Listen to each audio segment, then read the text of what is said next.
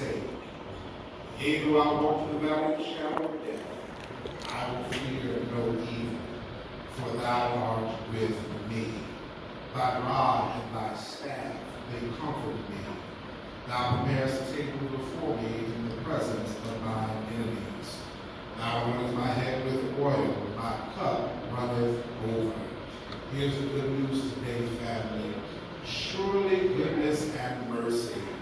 shall follow me all the days of my life. I will dwell in the house of the Lord forever. Then the New Testament scripture reading is found in the second letter to the church of Corinth, chapter 5. 2 Corinthians chapter 5. For we know that if our earthly house, this tent, is destroyed, we have a building from God, house not made with hands, eternal in the heavens. For in this we groan earnestly, desiring to be clothed with our habitation, which is from heaven. If indeed, having been clothed, we shall not be found naked.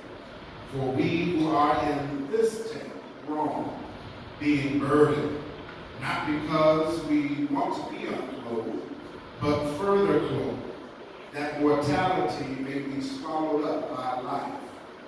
Now he who has prepared us for this very thing is God, who also has given us the Spirit as a guarantee.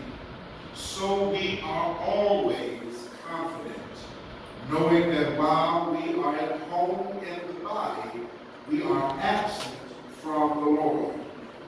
For we walk by faith and not by sight. We are indeed confident, yes, well pleased, rather to be absent from the body is to be present with the Lord. This is the word of God for the people of God. Thanks be unto God.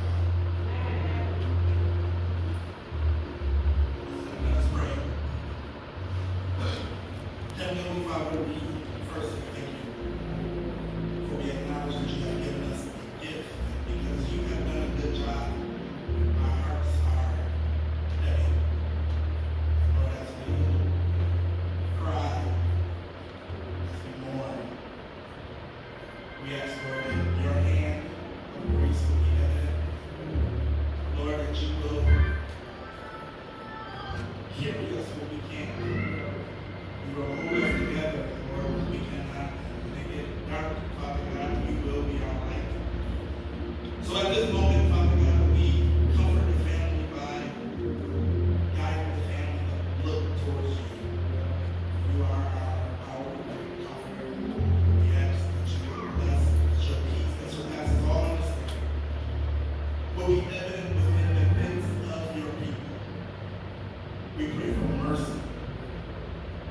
So